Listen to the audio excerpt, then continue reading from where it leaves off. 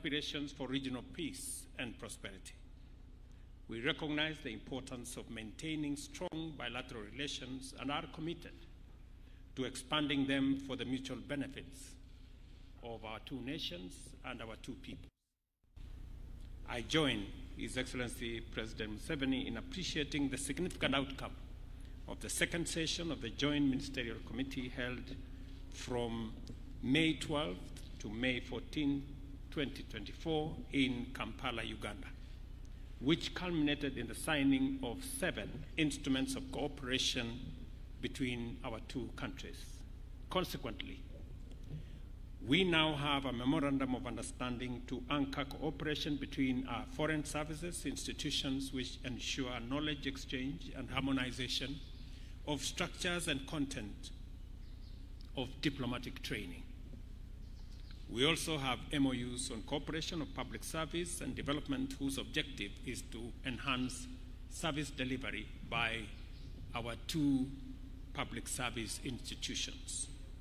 In addition to this, an MOU to facilitate cooperation in youth affairs has been signed which enables us optimize the capabilities of our youthful democratic groups by obliging the two countries to implement innovative national policies and programs relevant to young people. Contextualizing that particular MOU is our joint hosting of the Africa Cup of Nations later um, in 2027 that was jointly um, canvassed by the three East African countries and the continued cooperation between our countries in sports. Further, the JMC witnessed the signing of an MOU on cooperation in sports, demonstrating the seriousness we both attach to sports promotion and development in the mobilization of investment that unlocks the potential of the sports sector. This instrument is even more timely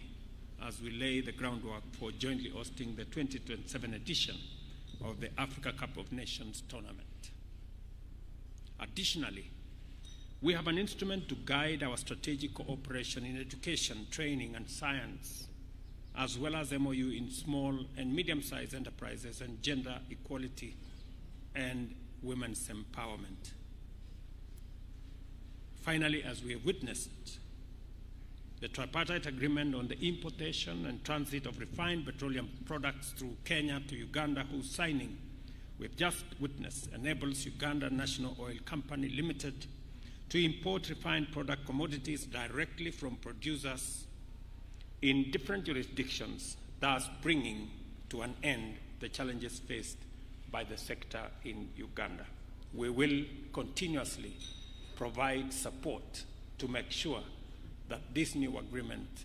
is implemented, is functioning, and is mutually beneficial. It is in our place as Kenya to support Uganda to achieve its aspirations when Kenya is called upon. We are confident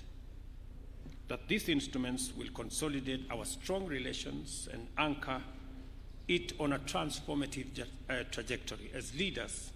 we are committed to implementing all our obligations in order to reap their full uh, benefits. Let me also um, confirm that we have agreed in the joint communique that's going to be issued later on making sure that trade between our two countries is unimpeded either by tariff or non-tariff barriers or levies that are arbitrarily levied. We've agreed that the common principle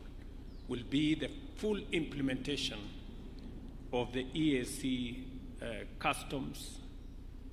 and other infrastructure that support trade between East African countries. And therefore,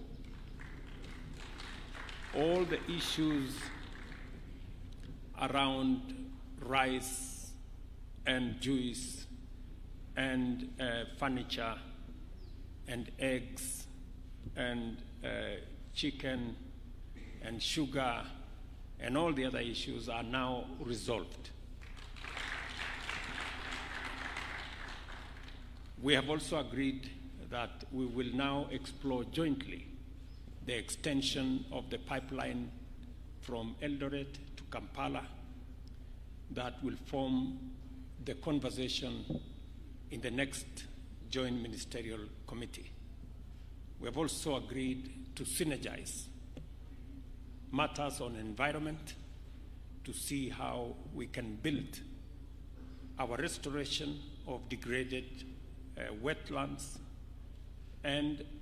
fragile ecosystems, including our water towers that is currently being undertaken in Kenya, including the planting of 15 billion trees to see how that can be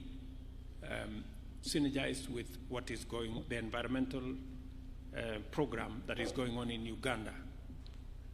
understanding and realizing that climate change has no boundaries. We have also agreed jointly on matters of peace, security, and stability in our region, and we hold common position on what should happen in Eastern DRC, in South Sudan, in the Sudan, in Somalia, and in our region in general. The meeting also emphasized the importance of extending, as I have said, the SGR from Naivasha to Malaba, but all the way to Kampala and DRC as an efficient and sustainable infrastructural transformation, of goods, we have obliged our res respective ministers to take joint urgent measures to mobilize resources for the implementation of this regional shared infrastructure and report on progress by the end of this year. As pertains our regional agenda, President Museveni and I appreciated the benefits and power of our close coordination with respect to the East African Community, Intergovernmental Authority on Development, and the Africa Union and other regional organizations, which we recognize as the building blocks for the greater integration of our countries at the continental and international level. I appreciate with tremendous gratitude President Museveni's contribution and selfless dedication to building a robust East African community and transitioning it into a federation of shared vision and values. I have also expressed to His Excellency the people and the government of Uganda the appreciation of Kenyans from all walks of life for Uganda's endorsement of the Kenyan candidate for the position of Africa Union Commission chairperson and assured him of our full confidence that our candidate will deliver effective leadership at the Commission. We also shared our concern about the threat of terrorism and insecurity in our region and affirmed our commitment to strengthening regional peace and security approaches and programs. Kenya will continue to consult and work closely with Uganda in addressing security challenges in our sub-region, including in the Sudan, South Sudan, Somalia, DRC, and elsewhere. During my meeting with President Museveni, we expressed concern on the drawdown of ATMIS in Somalia, and we urged that the timelines for the drawdown align with the security conditions on the ground in Somalia, not just the calendar that has been laid out. Before I conclude, let me reiterate that President Museveni's visit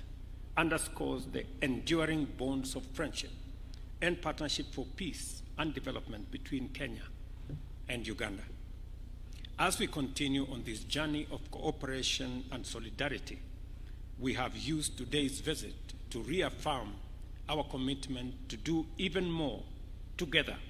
for the greater good of our nation, our region, and our continent. We have also agreed on the border issues uh,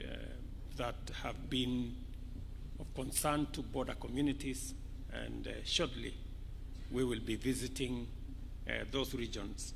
with a view to bringing the communities together I take this opportunity to assure Your Excellency of my personal support and commitment of the Republic of Kenya to work with you and the government of Uganda in furthering our bilateral agenda and mutual interest of our people. Finally, I wish you, Your Excellency, and the great people of Uganda our best wishes for prosperity in Uganda and in our region. Asante sana, mzee, karibu.